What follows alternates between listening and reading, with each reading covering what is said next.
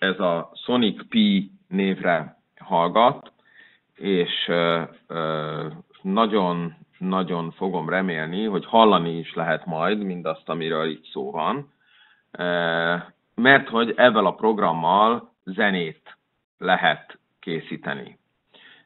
És amint látható, ezen a sonic p.net oldalon lehet elérni, és, és letölteni akár mindjárt mutatom, tehát a, a Raspberry Pi-re is, hogyha valaki azon dolgozik, akár Windows-ra elérhető. Ugye mi most a Windows-os változattal fogunk dolgozni. És akkor már mutatom is magát a programot. Hogyha az ember elindítja, akkor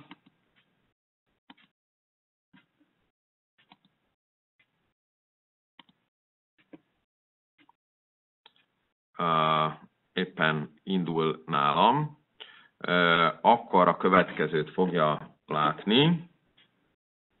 Na, csodálatos. Már meg is tudom osztani.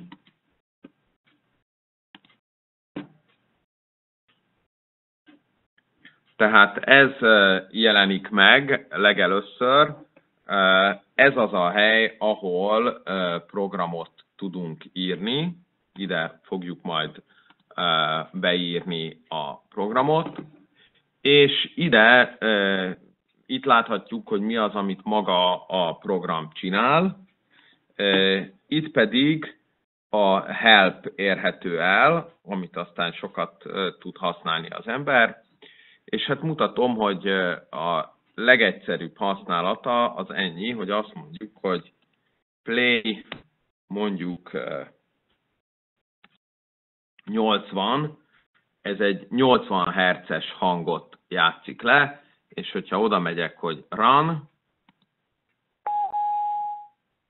akkor remélem, hogy lehetett hallani, eh, ahogy lejátszotta ezt az egy hangot. Gyorsan meg is kérdezem, hogy lehetett-e hallani.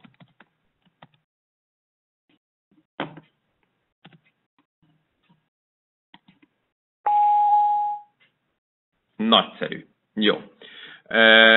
Nem csak hercet lehet megadni, hanem akár azt is mondhatom, hogy én egy C hangot szeretnék hallani,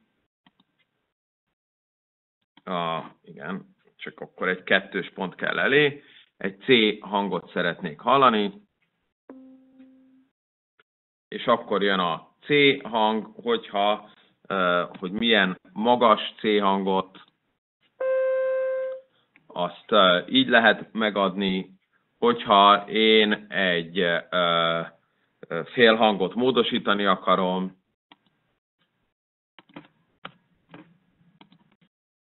akkor az S-sel lehet felfelé, a B-vel lefelé, egy fél hanggal megváltoztatni, és hát akkor ezekből akár többet is egymás után lehet tenni. Mi történik akkor, hogyha azt mondom, hogy egy C hang, és aztán egy tudom, E hang jöjjön,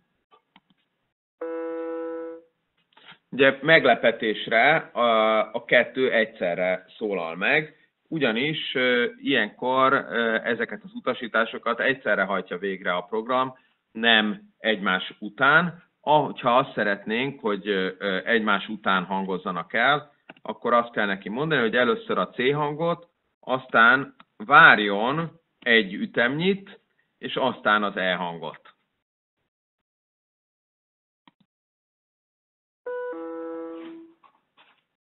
Tehát, hogy így lehet a kettőt egymás után hallani. A hang erősséget is be lehet természetesen állítani.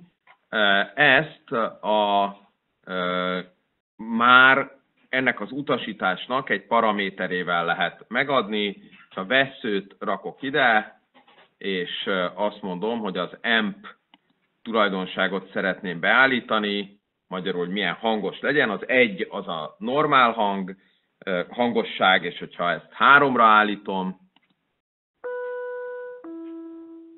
akkor lehet hallani, hogy ez jóval hangosabb, így talán még sokkal hangosabb. Ezen kívül még persze további dolgokat be lehet állítani. Az etek az azt mutatja, hogy milyen gyorsan hangosodjon fel maga a hang. A, a sustain azt mutatja meg, hogy mennyi ideig maradjon azon a szinten, és a release, hogy mennyi idő alatt halkuljon el. A pennel az egy mínusz egy és egy közötti szám, azt lehet megadni, hogy milyen milyen módon a jobb vagy a baloldali oldalon hangszóróból halljuk inkább a hangot. Hát látni most nem sok mindent lehet, mert hogy ugye itt hangokról beszélünk, de rögtön mutatnék is valamit, amit így gyorsan lejátszunk, és remélem, hogy ez működni fog.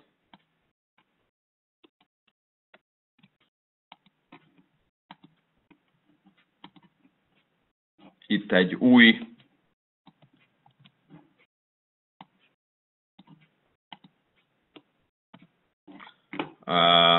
jó néhány hang jön itt egymás után.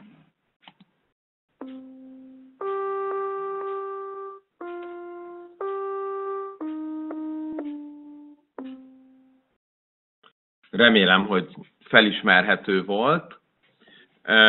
Hogyha megnézzük, akkor itt ami érdekes, hogy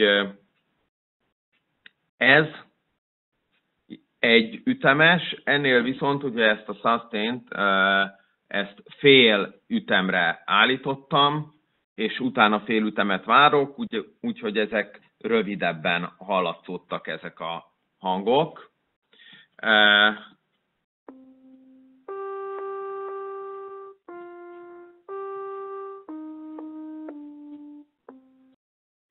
Most a, az alapbeállítás az az, hogy egy ütem az egy másodperc. Ezen lehet változtatni. Erre való a use BPM nevű parancs. Ugye a BPM az az ütem per perc. Hogyha 60 BPM-nél tartunk, akkor másodpercenként egy ütemet hallunk.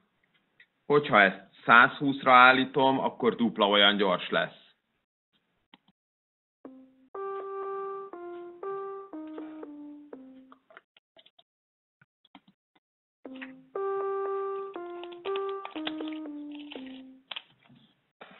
A programban lehet ciklusokat is használni, tehát például, hogyha kétszer szeretném ezt meghallgatni, akkor egy do és endel mondom meg, hogy mettől meddig kétszer akarom ezt meghallgatni.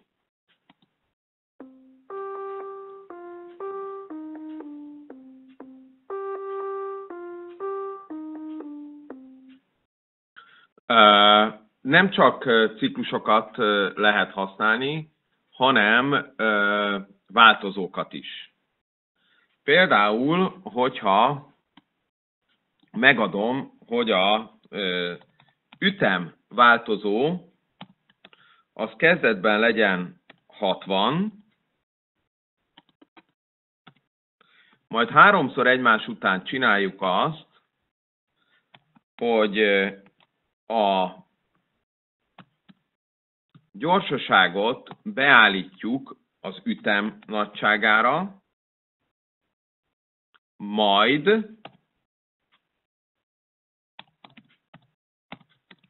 az ütemet megnöveljük 60-nal, akkor nézzük meg, mi fog történni.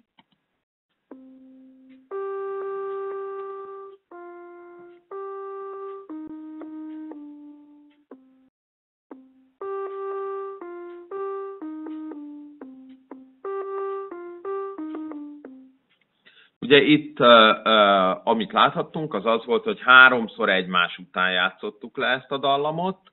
Először egy másodperces ütemekkel, utána fél másodperces ütemekkel, utána harmad másodperces ütemekkel, hiszen amikor először állítottuk be a percenkénti ütemet, akkor az 60 volt, utána megnöveltük 60-nal 120-ra. A második lejátszásnál már ezt hallottuk, a harmadiknál pedig már 180 ütem per perc sebességgel hallgathattuk végig ezt a dallamot.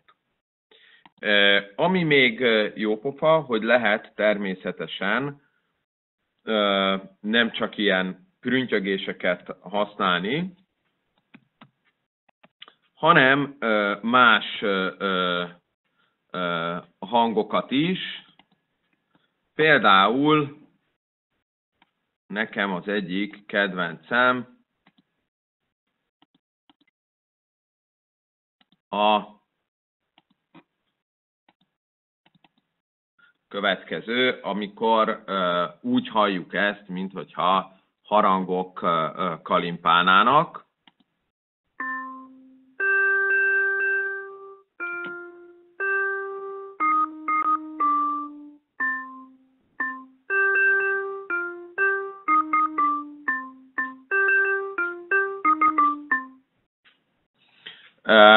De természetesen nem csak ilyen hangokat lehet használni, hanem ha akarunk, akkor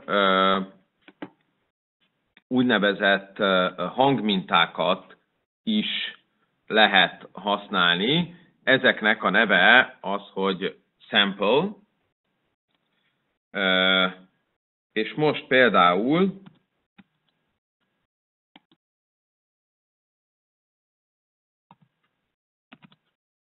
azt mondom neki, hogy folyamatosan ütemenként egy dobütést akarok használni, vagy hallani.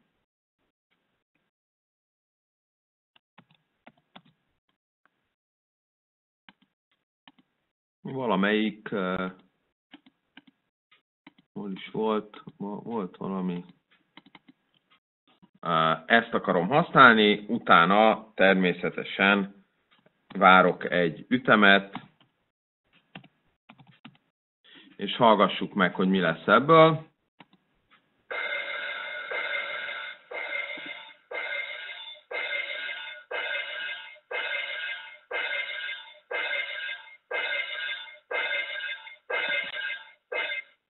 Ilyenkor persze csak úgy tudom leállítani, hogyha a stopot lenyomom, mert hogy a loop az egy folyamatosan körbe-körbe megy, amíg meg nem állítjuk. És hogyha az akar az ember, akkor mindenféle ravasz dobzajokat is összerakhat. A, ezen túl azonban van még egy jó pofa dolog, amit lehet használni.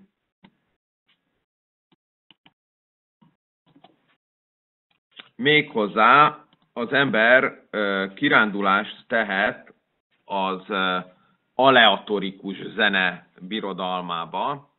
Ugye az aleatorikus zenét azt valamikor az 50-es években találták ki, és a lényege az az volt, hogy véletlenszerű folyamatok legyenek a zenében. Megnézzük, hogy mit csinál ez a zeneprogram, amit ide raktunk. A következőt csinálja. Először is véletlenszerűen dönti el, hogy a Prophet vagy a TB 303 nevű ö, hangmintát vagy, vagy szintetizátor hangot használja-e. Ugye erre a choose parancsot lehet használni. A choose parancs után meg kell adni egy tömböt, amit ugye ilyen szögletes zárójelek közé kell tenni, és ez alapján választjuk ki véletlenszerűen, hogy ezt vagy ezt szeretnénk-e hallani. Utána egy 56 Hz-es hang hallatszódik, viszont az 56 Hz-es hangnak le fogjuk vágni egy bizonyos frekvencia fölötti hangjait. Tehát egy adott frekvencia fölött elvágjuk ezeket,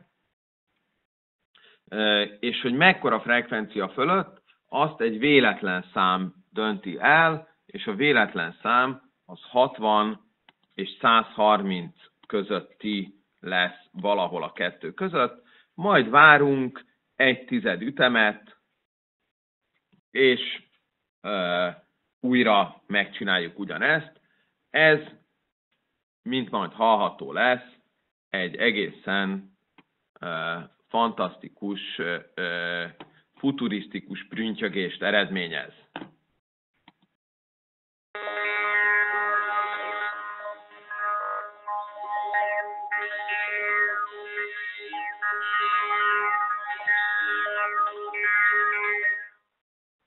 Hogyha az ember ö, ö, még futurisztikusabb prüntjögésre vágyik, akkor csak a TB303-at használja,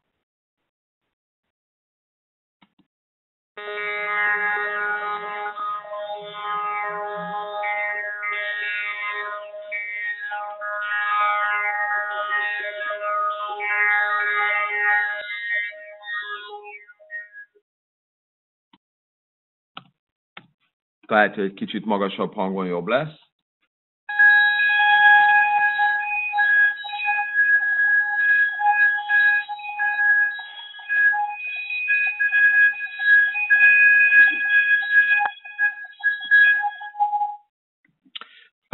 A csúzon és a randon kívül még Egyéb módokon is lehet véletlen számokat generálni, lehet kockadobást szimulálni, a DICE utasítással lehet pénzfeldobást szimulálni, és így tovább. És természetesen vannak ha elágazások is. Mutatunk egy következő programot, írok ide gyorsan. Uh,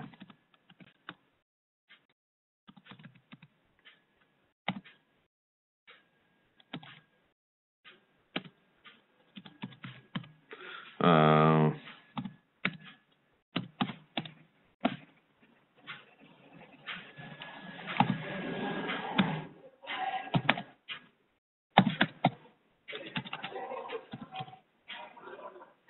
Ó, egy pillanat, gyorsan megnézem ennek a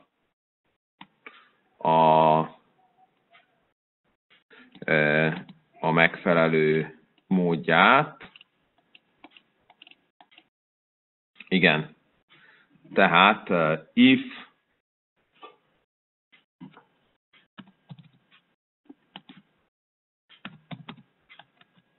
van in kettő Ajaj, nem ezt akartam. Kettő. És play, mondjuk, hát a százat azt már nem nagyon halljuk. 90, if van in 3. De ez majd ezt várunk egy kicsit, és bezárjuk a ciklust. Itt mi történik? Lejátsza a 60-as hangot, majd feldob egy pénzt, és hogyha kettőből egy valószínűséggel a 80-ast is, háromból egy valószínűséggel a 90-est is vár egy kicsit, majd újra kezdi. Hallgassuk meg, hogy mi lesz a végeredmény.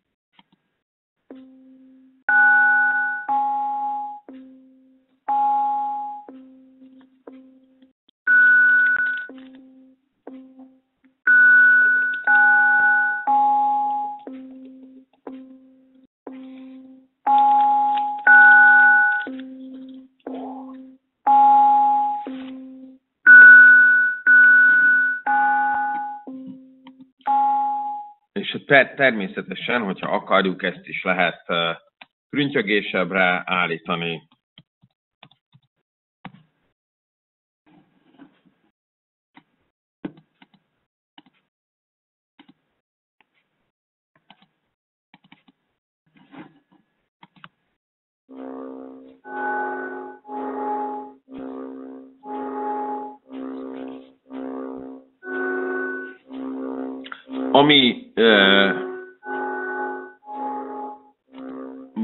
Esetleg érdekes, vagy megemlítendő, hogy itt egy félvéletlen-szerű elrendezésről van szó. Tehát a véletlen számok azok mindannyiszor ugyanúgy követik egymást, ahányszor elkezdjük ezt a programot. Ez azért van, hogyha az ember valami zenét fel akar venni, és az éppen tetszik neki, akkor azt fel tudja venni újra, meg újra. A,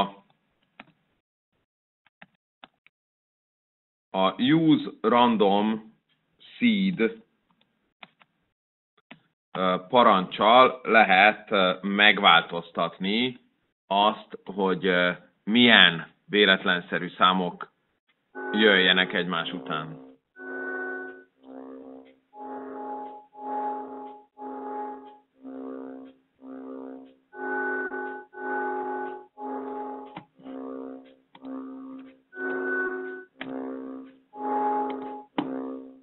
Most ugye egy másik uh, uh, random alapot használunk,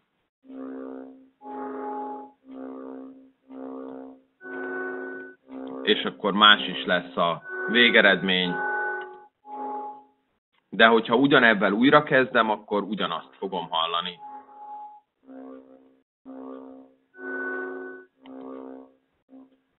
Ami még érdekes lehet, hogy természetesen ki lehet menteni azt, amit, amin dolgozik az ember, de hogyha tetszik, akkor hangfájként is el lehet menteni,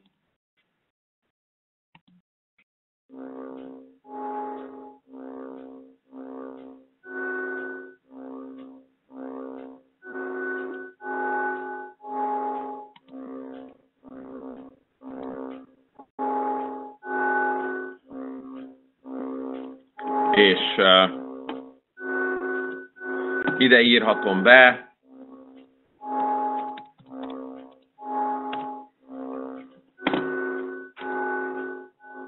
hogy mi legyen a neve az elmentett uh, fájnak. Uh, ennél persze még sokkal-sokkal több mindent tud a, uh, a Sonic P, de talán ilyen jó pofa bevezetésnek ez, ez uh, uh, elég lehet.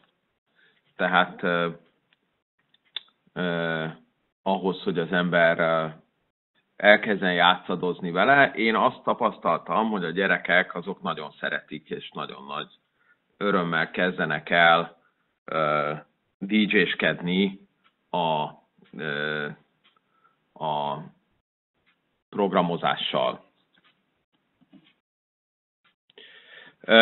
Én ezt hetedikesekkel használtam először.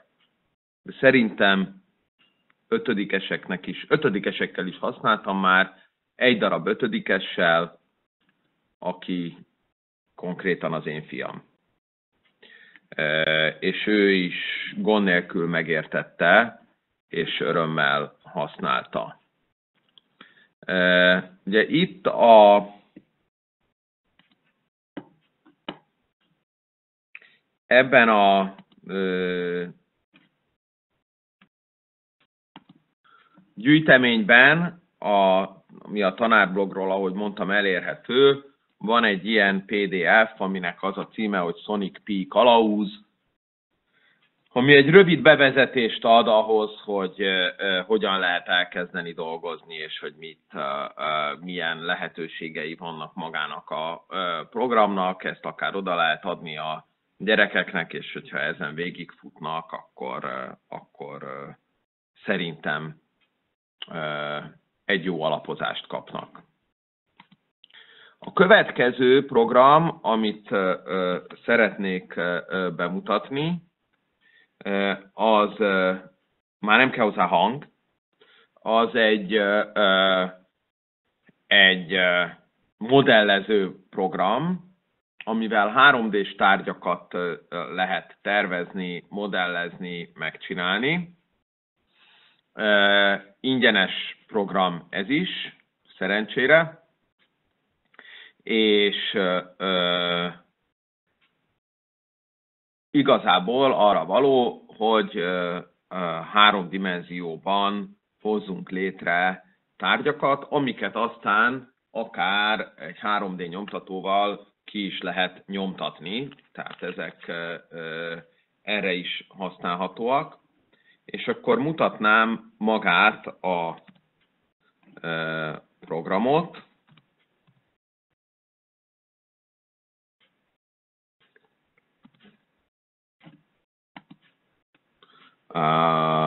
Egy pillanat, és már meg is osztom.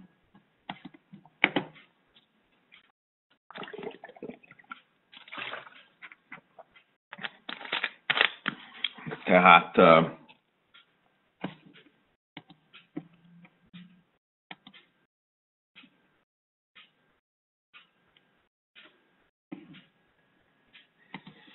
Ugye, ami itt uh, látszik uh, alapból,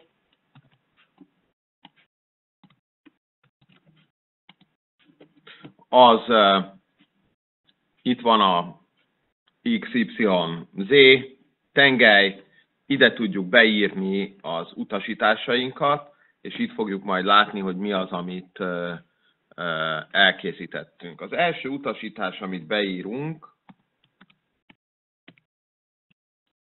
az ennyi lesz.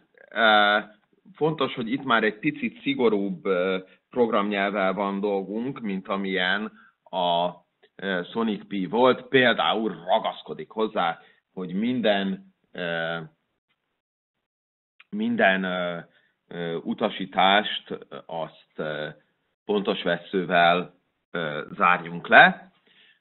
Ha meg akarjuk nézni, hogy mi lesz abból, amit készítettünk, akkor ide kell kattintanunk a preview-ra, és íme itt van a gömbünk, amelyik 10 mm sugarú gömb. Lehet természetesen kétdimenziós alakzatokat is készíteni. Ez itt például egy kör, de ha már három dimenziónk van, akkor maradjunk boldogan annál.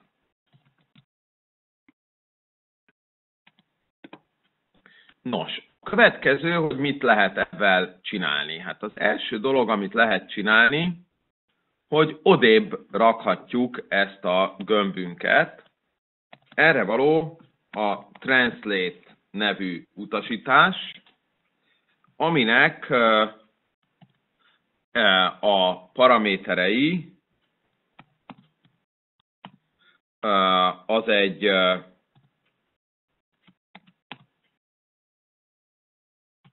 vektor,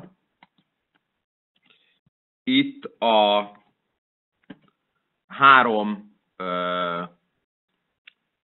tengely mentén mennyivel szeretnénk eltolni. Ugye én azt mondtam, hogy a x tengely mentén nullával, az y tengely mentén nullával, a z tengely mentén tízzel toljuk el ö, ezt a gömböt, és lehet látni, hogy ez meg is történt. Hogyha az x tengely mentén meg 20-szal tolom el, akkor ennek ez lesz a végeredménye.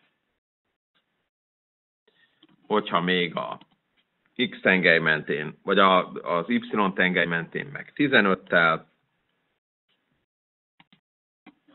akkor íme itt van, ide került a testünk. Szerencsére nem csak gömböket tudunk készíteni, hanem például tudunk téglatesteket is.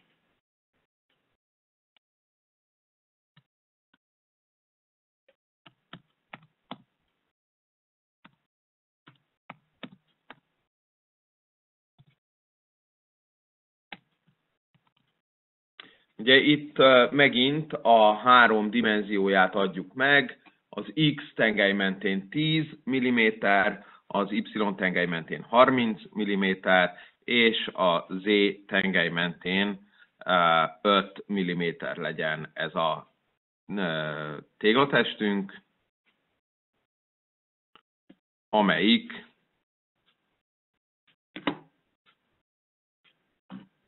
Uff. Itt akkor meg is jelent. Itt látható. Ezeket nem csak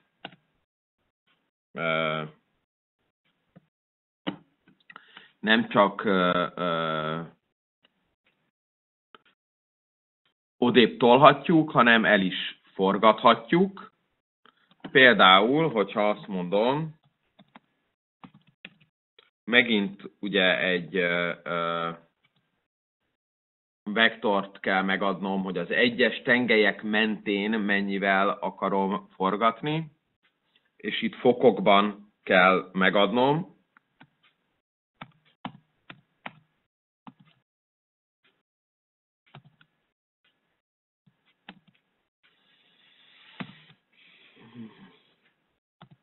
Ugye ez a kapcsolj zárójel mutatja azt, hogy mi az, amivel ezt csináljuk.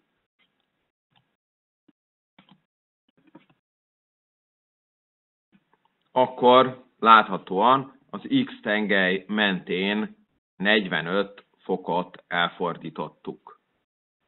Természetesen ezt tovább lehet bonyolítani.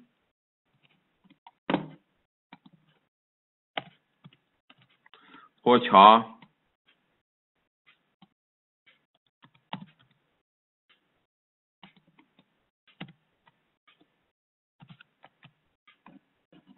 eltolom egy kicsit idébb, akkor most ez a két test így egymásba futott. És a következő érdekes dolog az az, hogy megtehetem azt, hogy ezt a két testet ezt összeadom, tehát egy testet csinálok belőle. Erre szolgál a Union nevű ö, utasítás. Ennek ugye paraméterei nincsenek.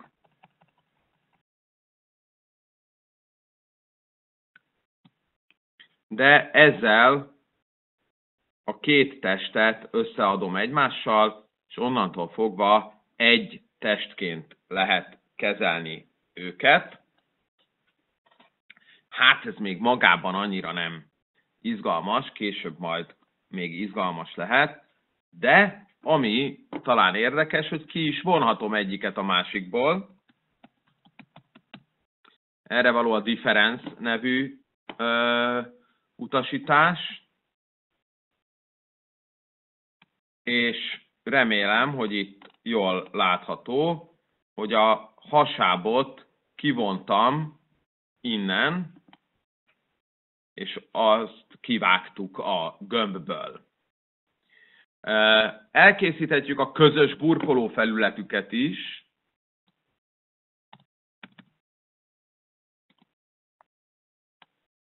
amelyik így fog kinézni, vagy a két tárgyat vektoriálisan is összeadhatjuk,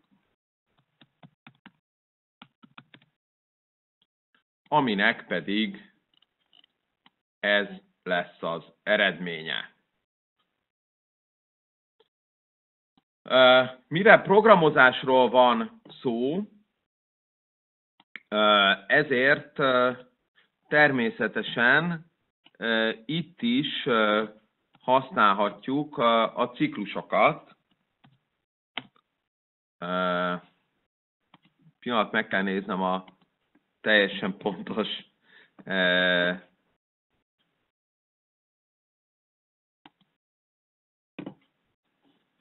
használatot.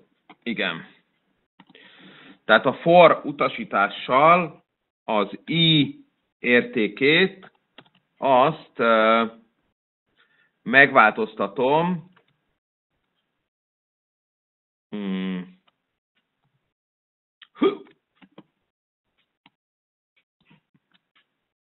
Bocsánat. Uh, igen, tehát megváltoztatom nulla és uh, és 30-al lépegetünk, 30-anként, és a végső érték az pedig a 330,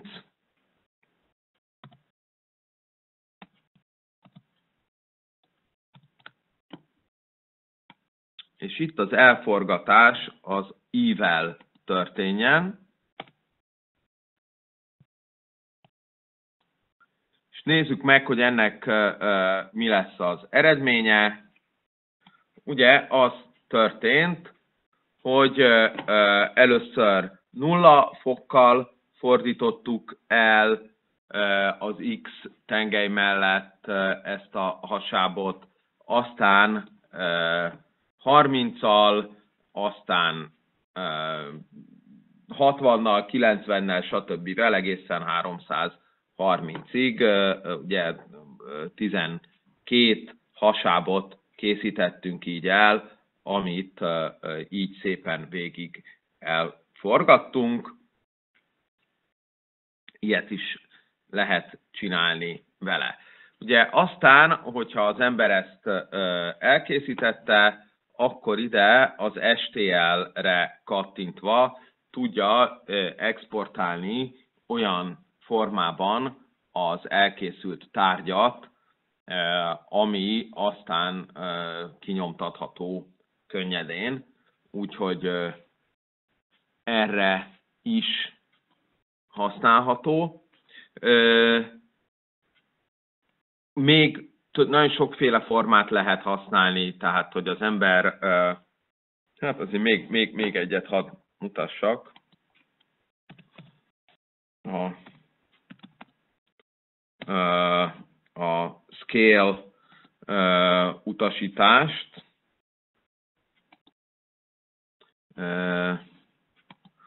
hogy amivel pedig a nagyítani, kicsinyíteni lehet a, azt, amit készítünk, de lehet a, a, természetesen ugyanígy a különböző tengelyek mentén különböző nagyítás és kicsinyítést adhatunk meg. Tehát, hogyha azt mondjuk, hogy az X tengely mentén egyszeres, az Y tengely mentén kétszeres, a Z tengely mentén pedig ö, ö, szintén egyszeres legyen ez a nagyítás, akkor ez a tárgyunk így fog kinézni.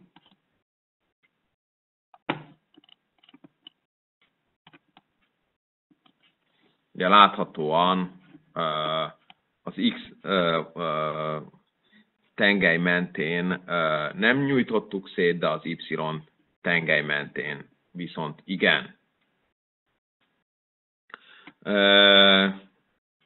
Természetesen könnyedén lehet benne mindenféle bábukat, alakokat készíteni, és, és aztán azokat, hogyha az ember akarja, akkor ki is lehet nyomtatni. A, az utolsó ilyen program vagy, vagy oldal, amit szeretnék mutatni, az pedig a, ott videókat lehet készítgetni. Ennek is nem minden része, de nagyon nagy része az ingyenesen használható.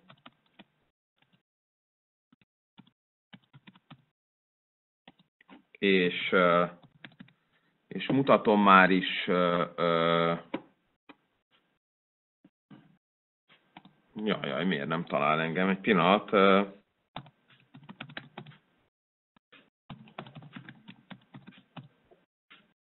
Igen. Jó. Akkor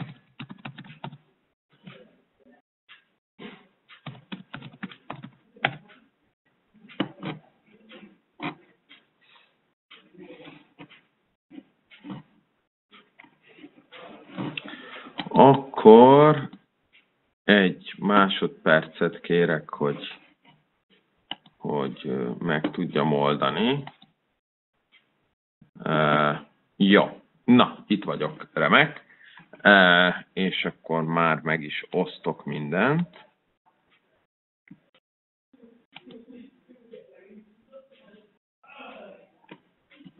Tehát miután az ember uh, uh, feljelentkezett, akkor így néz ki, lehet saját csoportokat létrehozni, hogy abban diákok dolgozzanak, és meg lehet velük osztani a dolgokat, de nem ez uh, uh, most a, az igazán uh, izgalmas, hanem uh, uh, itt vannak a ingyenes projektek, amiket lehet választani. Mondjuk kezdjük a Make Your Own Filter nevű projekttel. De majd látni fogjuk, hogy itt is azért teljesen szabadon lehet majd dolgozni. Tehát először is ki kell választanunk, hogy mi legyen az az alapvideó, amin dolgozunk, de akár a saját kis MP4 videónkat is feltölthetjük, hogyha akarjuk. Most legyen ez a kis videó, ez a dinoszaurusz, amivel dolgozunk. Remélem, hogy jól látható. És utána erre különféle filtereket tehetünk rá.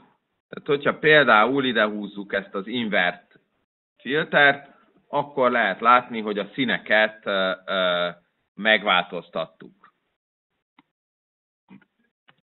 Hogyha a tint nevű filtert húzzuk ide, akkor megadhatjuk, hogy milyen színű legyen, és itt megint a paraméterek változtathatóak.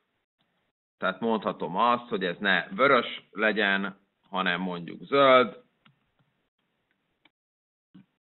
És azt is megadhatom, hogy milyen erősen kerüljön rá, ugye itt most zöldebb zöld, itt most csak egy nagyon pici zöldet tettem rá. Itt megint a szín maga az megadható egy hexadecimális kóddal is. Ó, ez mostobaság. De hogyha megnézzük azt, hogy mi mindent lehet itt még csinálni, akkor meg lehet változtatni a videó sebességét,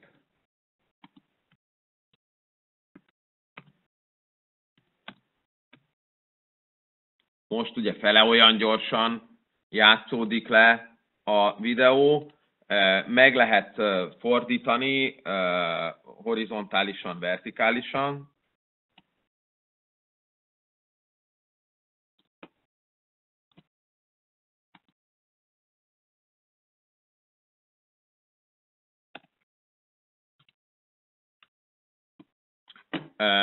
Aztán a hangokkal is lehet változtatni, a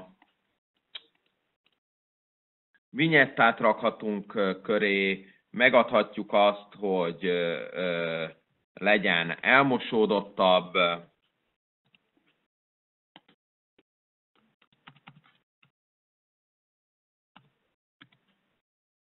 a videó a meg lehet adni azt, hogy legyen uh, pixeles,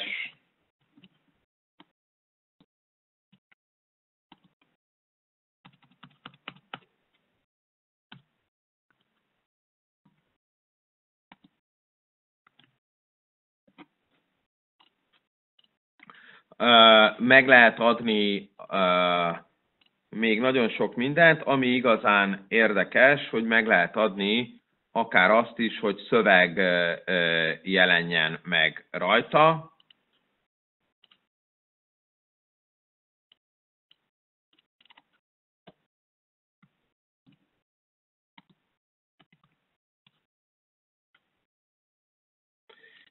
És ennek is be lehet állítani tulajdonságait,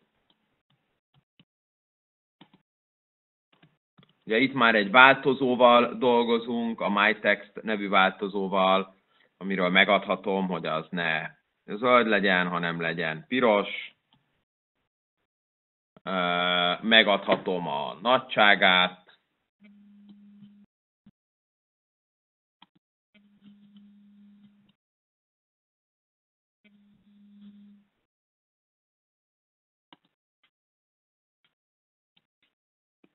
és így tovább, de akár uh, alakzatokat is elhelyezhetek a képen, uh, ikonokat el lehet helyezni a képen, uh, vonalakat húzhatok szintén kódból. Az egész az elég uh, könnyen uh, érthető és, uh, és könnyen használható, és ané, hogyha az ember igazán komolyan dolgozik, akkor még az egeret is felhasználhatja, és akkor kis játékok is készíthetőek és a végén a publikálni lehet azt a videót, amit elkészítettünk, tehát az ember megkapja a végeredményét, és anélkül, hogy igazán belegondolt volna, itt már is programozott és úgy készítette el a videóját. A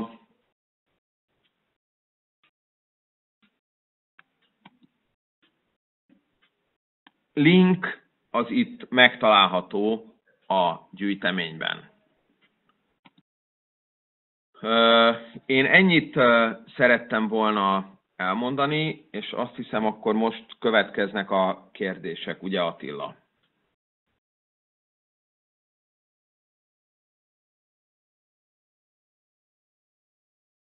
Akár a, e, itt a chat ablakban is fel lehet tenni őket, és megpróbálok rá válaszolni.